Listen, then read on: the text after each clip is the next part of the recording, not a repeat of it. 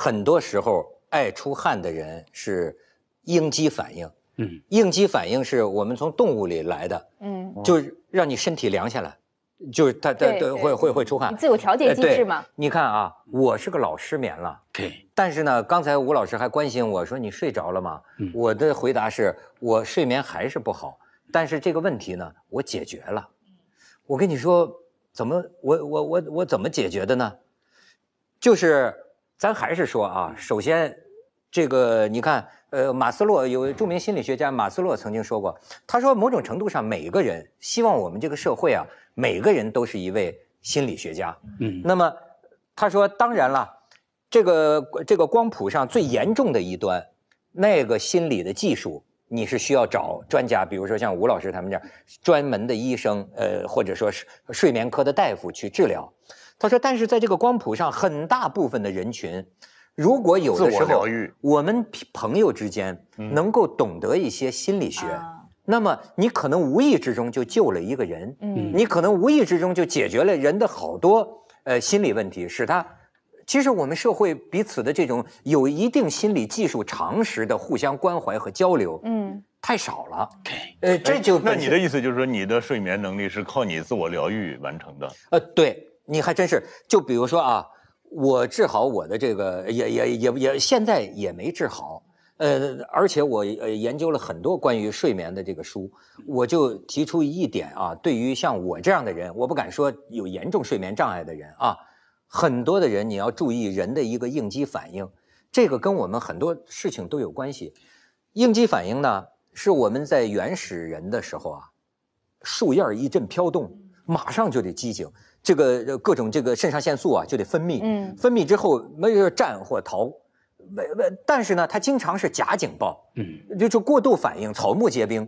可是呢，在那个原始社会的时候，对于一个剑齿虎的威胁。嗯，对，咱们宁愿过度反应，没错，没错，对吗？所以他就给你装上了这个反应机制。所以你看，为什么你老是觉得特别容易这个这个有有反应，或者同事说了一句什么话，马上你的内分泌就开始呃变变化了？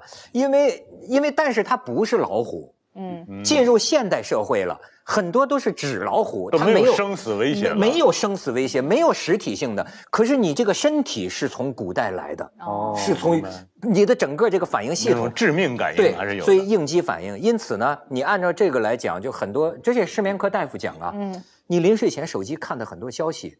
对吧？遥远世界里的战争，呃，同事之间的矛盾，呃，老板今天这句话是不是要裁员？等等，所有的这些东西啊，无异于引起你的这个应激反应。你在这种情况下怎么能睡得好嗯觉呢？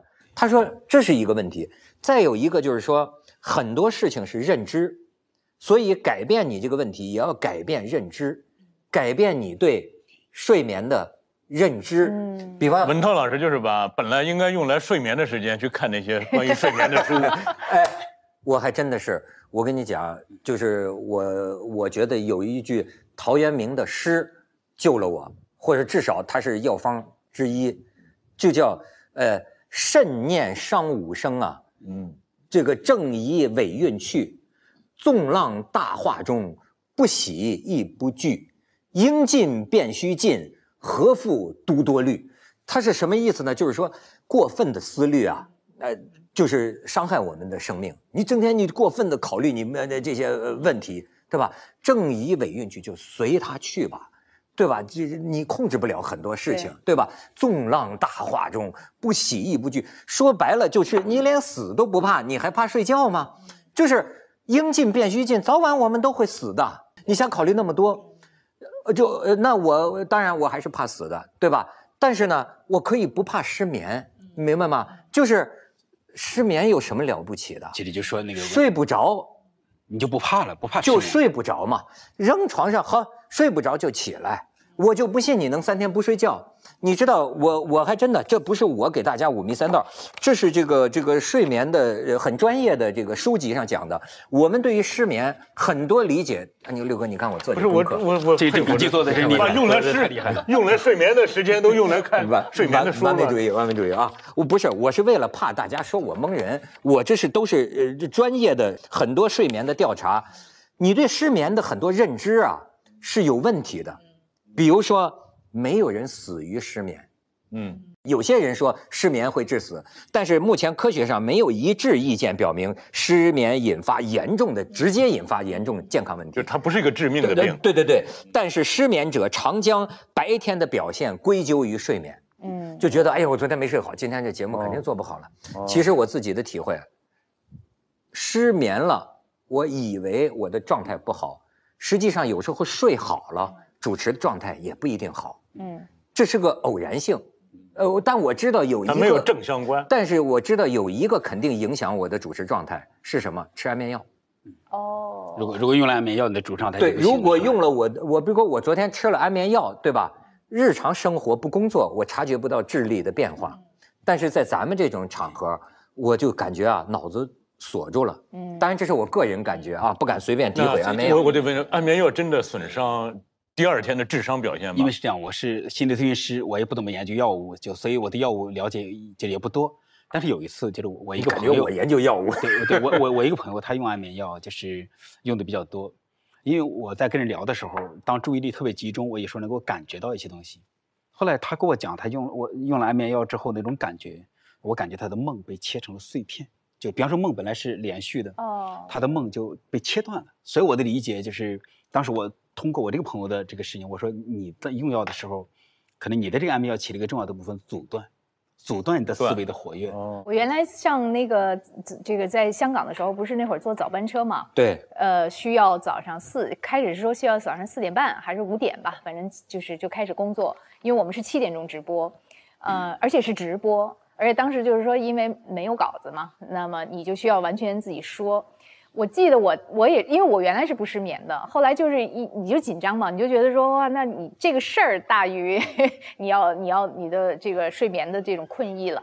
后来我是怎么自己给过去了呢？我就试了几次，就跟你刚才说的很像，就是我就是有一天基本基本上就没睡着，然后我就去了，去了发现哎好像也还行，因为你在直播的状态里，那种肾上腺素一分泌哈，你就很兴奋起来。呃，但是如果我比如说是去念稿子，我有可能就会极其困倦，因为我就是感觉没有深度的去受到那个刺激。你会感到困倦，对，但并不一定不能正常工作。对，然后尤其我那我直播又又没有稿子的时候，我必须要就是大呃就是真正的动脑的时候，我感觉就是兴奋起来。有那么两三次以后，呃，就是这个心理障碍克服了，我觉得说，哎，不睡似乎也没没有很大的区别，反而能睡着了。因为这个时候我们我们的思维。就是出现了一个，就是呃，就错误的认知，包括刚才文涛讲的，我们以为自己得有完美的状态才能完美的工作，啊，就我们都要怎么去准备，哎，但实际上在那个时候，你看，就是失眠并没不是罪大恶极的事儿，对对了，对了，就是因为你第二天就是就那一下的工作状态，可能并不需要就是九十九分的工作那个心理准备状态，你可能六十分就够了，而且还有一点特别重要的是。你此刻的那个状态，就是比方说你的你的意识，你感觉自己意识有点涣散，有点不够集中，也没没睡好，影响了这个。但是你有无限的潜意识。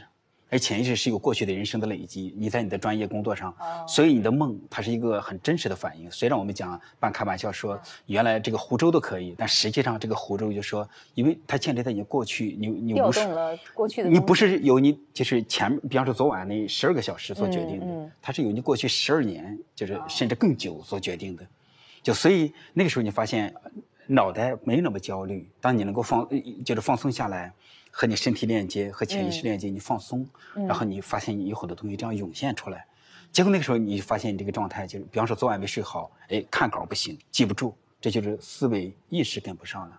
但是你内在藏着很多东西，所以当你使用它的时候，你就可以。那听起来就是叫接纳和共处就行了，是吧？你甭管失眠也好，还是各种毛病也好。但是这个接纳和共处呢，你要靠呃真正的事实。这个就是比就比如说哈，我们呃很多苦恼啊，都是发生在认知。你对这件事想错了，所以你要你你想错了也做错了，所以你才烦恼和痛苦。比方说这个从睡眠这个例子上来讲，就是我看的真的是千百个西方的关于睡眠的这种呃调查都写在这本书里。我可以把这本书。哎，你看，我看您您这第六条写的是什么？第六条。我怎么知道事情一定会这样发展？就是说，你有没有把这件事情想得太严重？嗯，曾经调查过一百二十二个呃失眠者，然后呢，这个让他们评估，就接上脑电波这些仪器，让他们评估，发现这一百二十二人啊，他们平均估计自己的就失眠者，他们估计自己入睡时间呢，比他们实际的入睡时间平均长半个小时。就是说，实际上您呐是半个钟头就睡着了，但是呢，第二天填问卷。您总是说我一个小时，我昨天一个小时才睡着，然后呢，总睡眠时间，整晚上的总睡眠时间低估了一个小时。这一百二十二个失眠者，就是说，你以为你们没睡着，其实您睡得正香呢，但是呢，您不知道您睡了这么长的时间，这就是一个认知。所以他们就讲世界纪录，世界纪录有一个人，我不知道是个魔术师还是个什么人，这哥们儿呢，连续十一天。就不睡觉，连续十一天就没有睡觉，说中间没有出现幻觉，然后到最后呢，就是连续睡了十五个小时，也就恢复正常了。呃，然后说这件事儿给我们的启示是什么呢？不用补回来，不用。哎，你真聪明，就是说没有补，就是说你觉得你两天没睡觉是吧？我得报复性的，我得补回来，不必有这个焦虑。第二个，如果您认为自己连续几个星期没睡过觉，那。要不你就是有消极睡眠认知，要不您就是打破了世界纪录。就像说你昨天你说你昨天晚上没做梦，实际你做了，对你不记得。但但是里面存在一个情形，像这种情形仍然是非常严重，是吧？他比方说他认知上，就算他重新做了个调整，其实他也睡过一些时间，对。但这还是一个非常严重的状态，嗯，就是他还是需要改善。其实当文涛你讲就是你的故事的时候。我不知道这个接下来我讲的故事会不会对你有一定的这个部分，就伤害。历史上有个非常著名的治疗故事，哎，没有，我把你我把你和一个非常伟大的人物联系在一起。对对对，就是那个千里投毒啊，不是千里投毒，他他千里到这儿来就是为了寻找我这个病人。不，我我我我这也是治疗。你看，就是这谁呢？这德国的铁血首相俾斯麦啊，俾斯麦。俾斯麦他有一个严重的问题，就是他睡不着，就是结果就是有一个江湖医生。把他治好了，为什么叫他江湖医生呢？因为当时也是这个学院派不怎么认可他，就是这个人用的办法非常的，就是比方说他不是用药啊，不是用一些什么方式啊，这个人怎么办的呢？就是 这是很符合后来的这个心理咨询中，就是关于睡眠的这些理论，就是这个人就他就他这样来治疗俾斯麦。当俾斯麦比方每天晚上要睡觉的时候，他就穿身一身制服或者一身固定的服装，他就坐在那个俾斯麦的床前，哎不说话。也不和他聊天反正就守着俾斯麦睡觉。哎，俾斯麦睡着了，他就离开了。但是等第二天俾斯麦要起床的时候，他又穿着同样的一身衣服，然后就出现在俾斯麦的床边然后同样的姿势坐着。等俾斯麦一醒，就发现，哎，这是昨昨晚上这个我睡觉之前见到这个人，今早晨醒来见到的还是同一个人。啊，连续几个晚上，就俾斯麦就能睡着了。那后来那人走了吗？万一那人走了之后，哎，这这事还没结束。但是我得做一个解释，就是其实，呃，它就涉及到一个，就是关于就是心理咨询方面的睡眠理论的两个部分，一个是关于安全感，一个是关于攻击性。那么就是，比方说像那个文文涛，当你讲的时候，我就在猜，这仍然和你的攻击性可能连在一起。你怎么老觉得我有攻击性呢？因为你讲你的梦，就前面你讲的那个被追杀或者开枪那个梦，我觉得我很怂啊！我觉得真的，我净被人攻击。我跟你说，你流露出来全是你相反的那一面。对你你自己不是一上来就说吗？你看起来是什么样？或或者我，相反这是你的理论呢？没有，我们把攻击性再先放放，你可能前面一个部分关于安全感的部分。那么安全感，你看，就是呃，他我们睡觉的时候得有一件事情，我们都得让脑袋松下来，是不是？对。如果你的思维很活跃，你就没法睡着。但是为什么有些人他脑袋松不下来？比方俾斯麦，他脑袋松不下来呢？就是或者为什么这个后来这个人就是，当他这个江湖一生就是出现在他床边这样稳定的接了几天，他就睡着了。因为当我们脑袋不能放松的时候，因为我们脑袋就是我们的自我保护者。哦，我们的脑袋在保护你看，我们其实都有一对矛盾：我们的思维和我们的体验，我们的头脑和我们的身体。就是当我们睡不着的时候，就是因为我们觉得外部世界不安全。就是这个不安全有多重含义！我们的脑袋就作为一个不能停止的一个部分，在这不断在转。对比俾斯麦来讲，铁血首相，他要操心的事多多多呀，是吧？所以他可能觉得所有事都得靠他。也的确是那个时候德国都是靠他靠他掌舵。他要一松懈，他觉得国家可能就不行了。所以他出现严重的这个问题。当那个人稳定在他身边，就对他说：“你就睡吧，你睡着，有我保护着你呢。”连续几个晚上，当他这个稳定的知道，哎，这个人就是其实是给他一种感觉，结果他就睡着了。当然，这个故事没有到此为止。你刚才那个问题特别对，这个人后来呢，这个人后来娶了俾斯麦的女儿。哦就让女生原来对对对 有目的的是吗？呃，他他不是有目的，他本来他就是来做治疗的，结果后来他成为俾斯麦的参谋，后来又又娶了。因为俾斯麦对的女儿也多半会失眠呢。俾斯麦离不开他了啊，就相当于这样子嘛。哦，就用自己就这个女婿不能跟女儿睡，得跟这个俾斯麦睡。得跟老丈人睡。反正就是得站在那前面，这也挺吓人的。有一些人，我自己我自己就是接触过的一些总想做事儿的人，嗯就是他真的。你会发现，原来我们会觉得说这个人是不是特别勤奋呐、什么这些都有，但一定有一条，就是他总是能量场超值，而且他就是，因为我我我就从我自己身上反观，我会人生中有一些时刻是跃跃欲试的，我想到这件事情，我会觉得义无反顾，但那个后来我才发现，它是一种生理的特征，就是我在那当下可能我睡了一场特别好的觉，嗯，或者我喝了两杯咖啡，因为我喝咖啡的时候我会觉得我兴奋起来，然后我的人生感受和决定都不一样了，我对未来的这种期望值不一样了。但可能就在下一天，同一模一样的外部环境事儿，我就是因为我这个觉没有睡，我可能睡得很累，或者我今天这杯咖啡我就没喝上，我的那种畏难的情绪就很强，甚至我同样的事情，我的认知不一样，我能不能做这件事儿，这件事儿是不是足够难，或者别人在这里面是不是足够对我有助力，或者说，甚至一个人他在此刻说的这个话，是不是让我觉得很很很烦人，我就是这种生理反应。后来我就发现说，人是一架机器，它它不是稳定的，它是受就是你的大脑运作和生理的这些要素，然后决定了你的想法和认知。这个想法和认知不是一个凭空而成的。所以我觉得，你看，后来有一次我看那个小，是很早以前吧，有一个中医，当时我一个朋友去看，然后他就跟我说，我就跟他讲，我说我怎么老是睡觉特别累？他说你应该感谢，但我不知道这对不对啊？他说你应该感谢这个，你是个能量值不高的人，你就是因为能睡，你还保护了一点能量值。他说你，我告诉你啊，有一些比如企业家，呃，或者是就是那种能人，他说他们。除了他们其他的天分之外，最重要的是他的身体机制。比如说，他很短，就四个小时或五个小时，他真的不想睡了，起来以后他就跃跃欲试，他就有一种要攻克一个东西的这种欲望。这种欲望是生理机制造成的，对然后剩下再配合他其他的能力啊什么的。所所以呢，就是哎但是如果有的人他把欲望全部发泄在梦里头，就像你一样，他你总老在梦里头打枪，嗯，那你会不会有这个问题？呃，梦梦里子弹太慢了。所以我就我就问吴老师，就是你看像他所说的这个，有的人是在现实世界中他能 精神饱满，有的人就在睡睡梦中他其实其这个时候跌宕起伏就刚才你看我的解释，他有这个安全感和攻击性这两个原因。这个安全感是什么呢？就是我们的睡想睡好，脑袋得松下来，就是得有安全感。安全感就是你知你确信外部世界是安全的，而且这个安全就来自于外部世界有人保护着你。而最初这个安全感就来自于哪儿呢？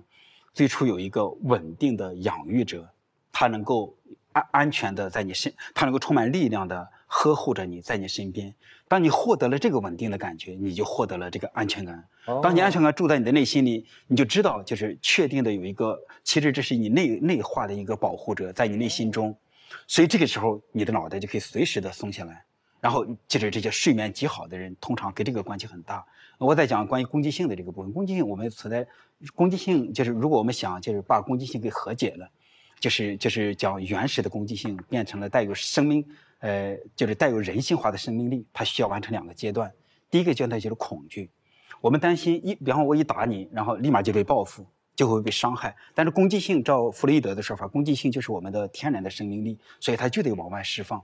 但是如果就是在小时候，比方说你的父母非常严厉，然后你一表达攻击性，啪就被打，或者就就这时候你就觉得你被惩罚了，所以这时候你就不敢表达。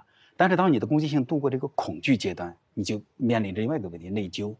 你就担心一表达，因为你你攻击性，你发现你攻击了别人，然后攻击了妈妈，被妈妈接住了，你知道妈妈是爱你的，但接下来你就开始担心，如果我伤害了妈妈怎么办？啊，你就有内疚了。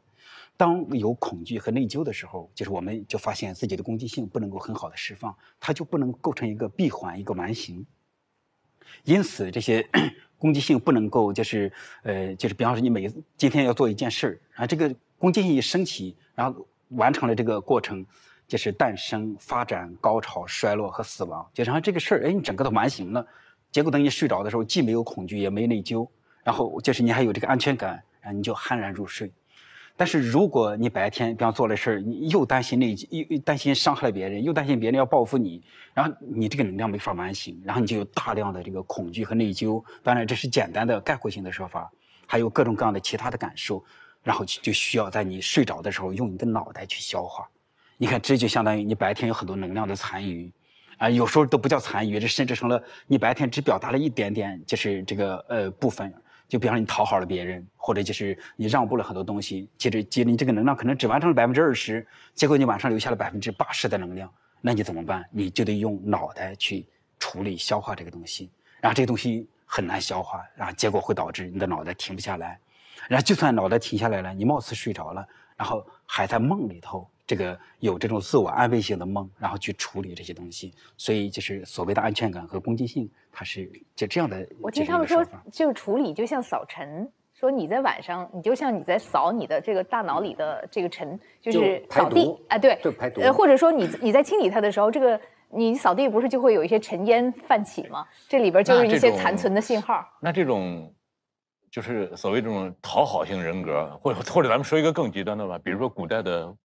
皇宫里的太监，对，那他的梦里会是什么？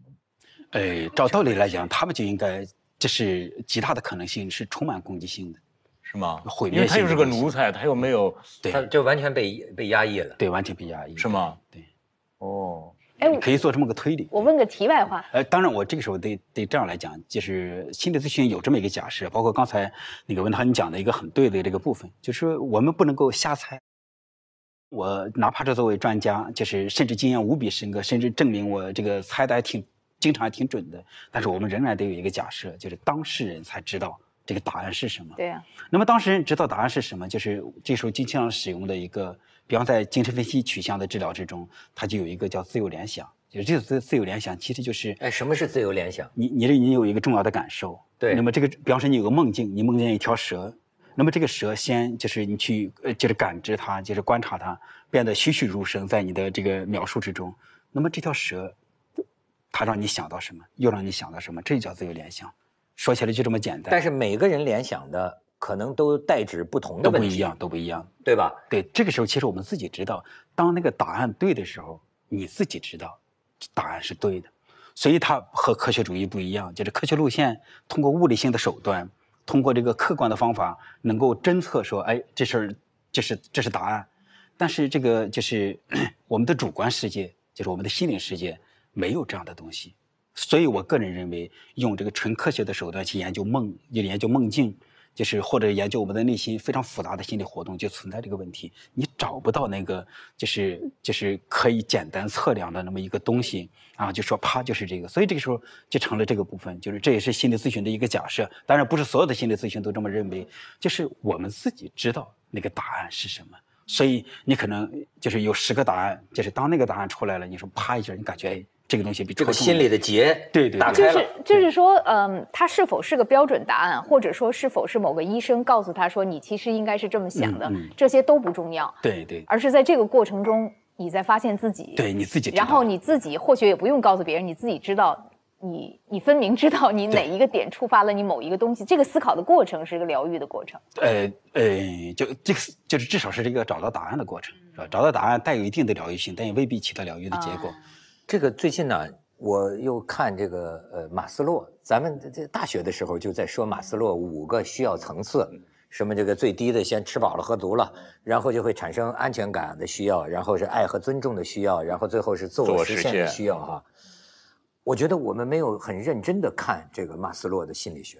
马斯洛他他讲了一句话很有意思，他说百分之九十的心理学都在研究的是消极面。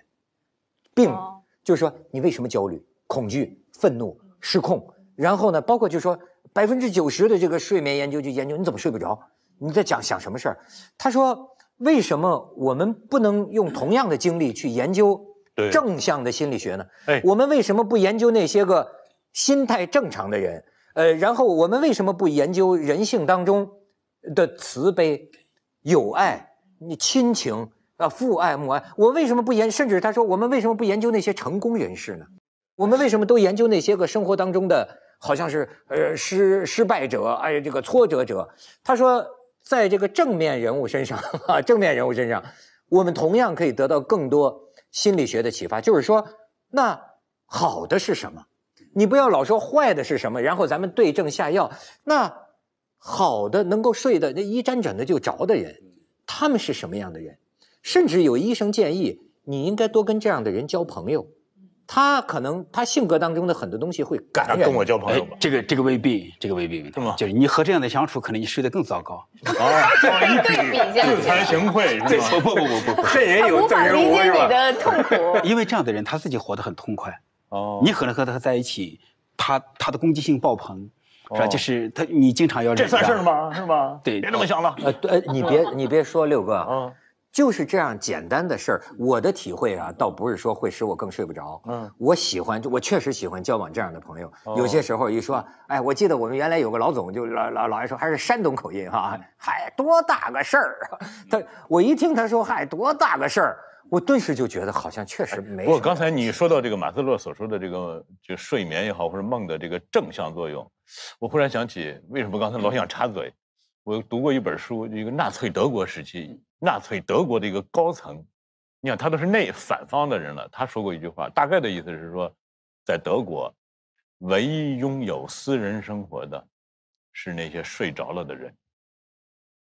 就说梦其实对于一个处在不正常年代的人来说，梦是具有巨大的疗疗愈，因为它是自自由的，它是唯一不受控的，对对对，嗯不受监视的，。想你想这个梦多了不起啊！梦是自由啊，梦是自由。我我一直有这个感觉，就是说，其实梦是最无法分享的。你比如说，我很少，我我经常会看别人，比如朋友圈里说，哎呀，我昨天做了个梦，我往往会滑下去，我不会看，因为我知道我无法共情那个梦。他如果说我生活中碰到一个什么事儿，我是很感兴趣的。但我觉得梦其实就是说，你只能呃，你也不用给别人讲，因为梦是唯一不能分享的东西，因为梦拿语言说出来都是不准确的。对，所以呢，就它是唯一你自己的秘密，你自己能识别它，然后就是它是属于你自己的，你对自己的了解，甚至是某种自由，也是某种秘密，或者是也难以言传的东西。